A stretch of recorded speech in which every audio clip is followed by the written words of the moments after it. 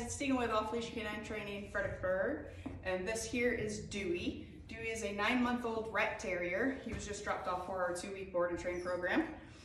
Um, some of the issues with Dewey uh, does his own thing, doesn't really want to listen, doesn't come when called. Um, yeah, just kind of stubborn. Um, so we're going to be working with him. Let's see what commands he does know. Dewey, come. Yes, good boy. I think he's just excited because he likes me already. Good boy. Dewey, sit. Yes, good boy. Down. Down. Down. Oh, place. Place. Dewey, place. Place. Well, here. Dewey, heel. Heel, heel, heel. Kind of everywhere with that, too. Good.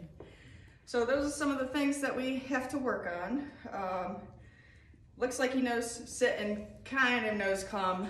Uh, that could just be because I'm new and he likes me. Um, so he wants to get pets from me.